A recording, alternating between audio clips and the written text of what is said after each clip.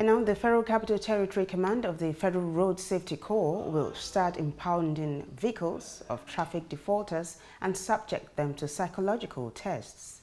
FCT Sector Commander of the Federal Road Safety Corps broke the news on Tuesday in Abuja during a press briefing for the launch of the hashtag Stop at Red campaign. He stressed the need for all Nigerians to be committed to obeying national traffic regulations.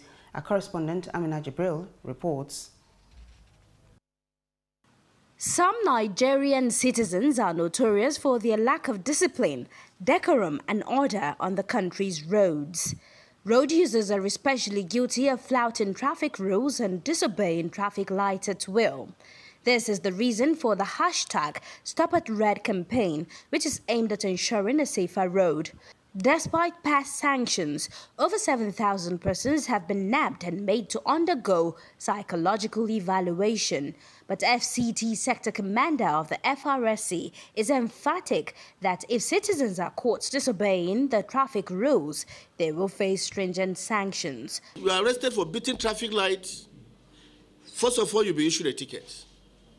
Secondly, your vehicle will be impounded.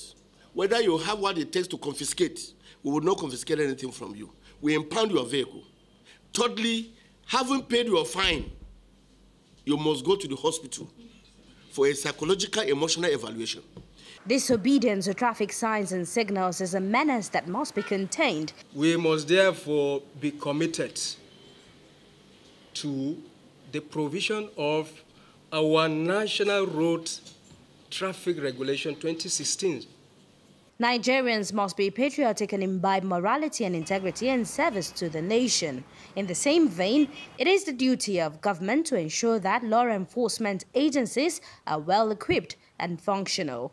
If we want a better country, if we want a better future for our children, if we want to be able to transfer a different legacy, we must on our own have order in our lives. This campaign is hoped to build a national ideology and ignite the power to work out a moral change without waiting on the government. From Abuja, Amina Jibril, STV News.